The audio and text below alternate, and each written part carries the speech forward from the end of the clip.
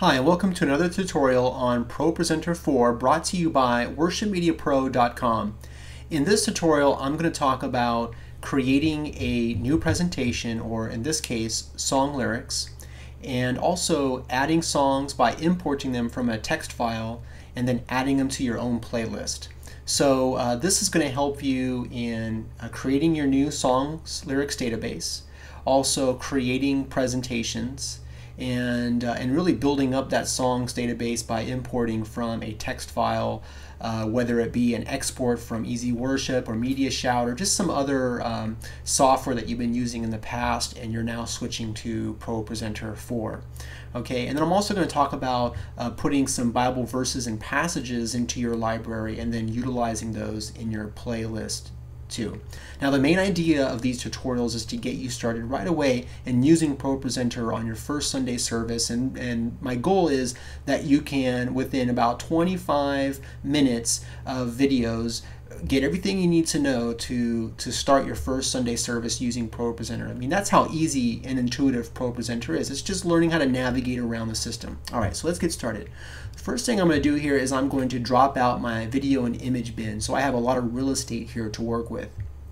Of course, the screen on your um, iMac or your MacBook is uh, probably going to be a lot bigger than this. I have just shrunk this down to 1280 by 720 to fit inside of my video recording system. Okay, and uh, and the first thing I'm going to talk about is the library. So what is this library here?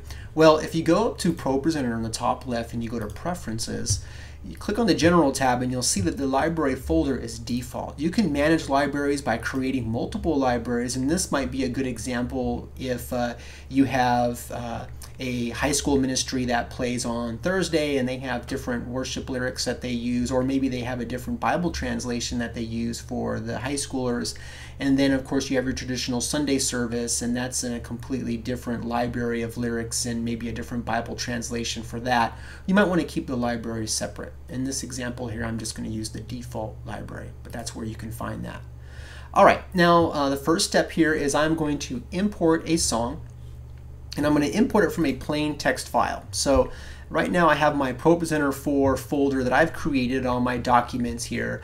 And uh, and this is my training series that I have. And I'm just going to collect uh, let's see here I'm going to do songs import. Okay so I'm going to open that up. This is a text file and, uh, and inside this text file here, you see I have some metadata such as the, the title and maybe author information, copyright info, public domain song here, the love of God. And I also have each one of the verses broken up into paragraphs. So that's actually how I'm going to separate this when I import it into uh, ProPresenter. Now I can import from a text file or rich text, which is, uh, this is a text file. The one I just showed you was the uh, rich, uh, rich text version. Okay, so I'm going to go back to ProPresenter. I'm going to go up to File. I'm going to go to Import, Import File. And as you can see here, the exact same uh, folder I was in. I'm going to go to Songs Import. And what I'm going to import it as, as imported, is my new playlist. And the reason why I want to do this is a little bit of a, a way of backing out of an import. Let's just say that uh, you made a mistake on the text file that you were importing. Well, you want to know each one of those, what they were, so that you can remove them from your main library. So by creating a playlist, you're going to be able to separate that. Now, it will import it into your library uh, automatically. But instead of just doing that only, let's create a playlist too so we can make sure we have them separated what we've just imported.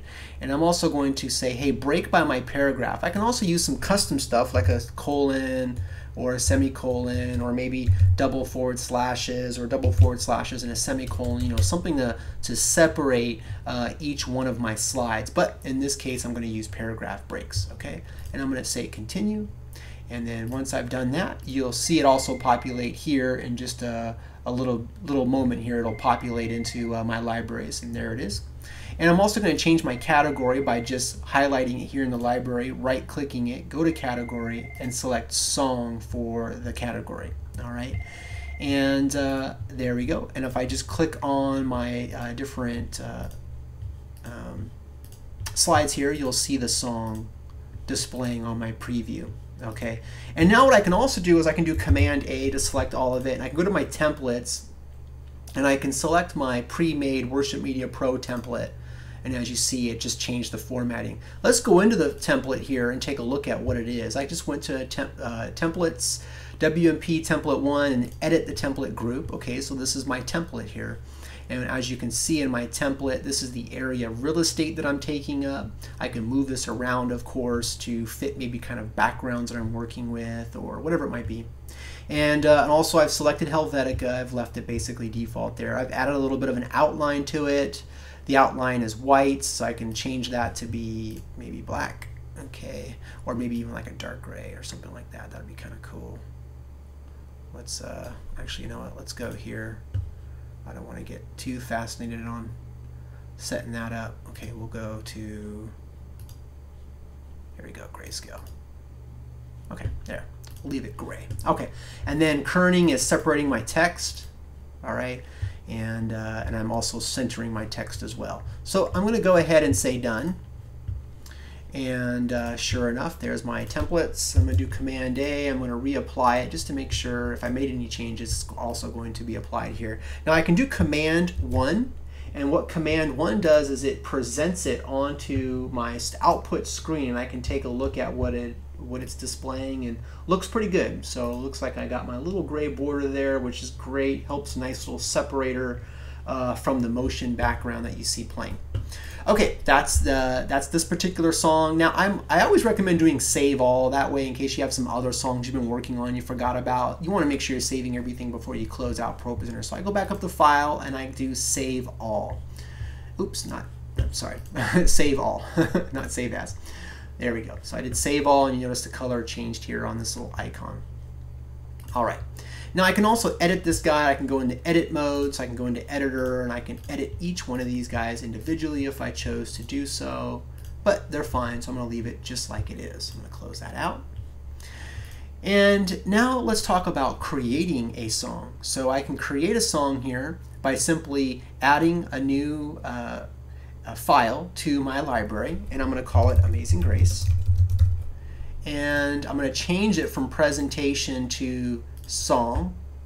Okay, and now I'm going to go to edit mode. And as you can see, I have my first box here, my first slide. And my slide here incorporates, boy, a lot of real estate, which is all right. That's fine. I'm just going to close this in a little bit here so we're not taking up all of that space there for text. Oops, you know, we'll leave it like that so that at least we can use a lot of the, the side room. Okay, and then I'm going to bump up my kern a little bit. That's spacing of the text. I definitely recommend doing that. Let's add a small, uh, again, stick with that kind of a gray. All right, uh, maybe make it bold. Okay, there we go. That looks good. All right, now let's get some let's get some lyrics. So I have Amazing Grace here already saved in a text file. So I'm just going to highlight my first one here, um, which is uh, just Amazing Grace, how sweet the sound. All right, and then I'm going to go back to my uh, ProPresenter. And I've I highlighted text, I'm going to right click and I'm going to paste and match style. Okay, so that way I'm not, it's not going to be some funky format when I paste it in there. I'm going to add a new slide by clicking my plus button down here and I'm just going to continue to do the same thing. So here I have Amazing Grace and I'm going to now jump to my next slide and again I'm just going to highlight text. I'm going to right click and paste to match style. Save you doing a lot of headache here for formatting. Now I'm not going to continue to add the rest of them for this training series. I'm just going to say done. Alright so I've said done. I've did a com uh, command A to select all of them and I'm going to apply it to my new template. And I'm also going to go back up here do file and save all Okay, so I've saved everything. I'm going to add Amazing Grace to my, oops, I'm to add Amazing Grace to my playlist. I'm going to add the love of God, and I'm going to add Amazing Grace. And hey, let's add now a passage. So I'm to jump up to Bibles here. I have the American Standard Version. I already selected uh, Daniel 10, uh, 1 through 3 and uh, let's just go ahead and bump yeah let's just go ahead and use one through three I think that's good so here we go I have a passage each and uh, and then I'm going to say add the verse numbers to this template okay? I'm gonna say hey use my uh, my worship media pro template. And as I do that you notice that it will now separate it into two slides because it just takes up a lot of real estate. So I can go back to my default. Looks like it crunches it all into one. So let's just stick with the default. Looks good. I just I'm looking at my output display right now and that looks fine. Okay so now I'm gonna say create presentation so once I click on that button down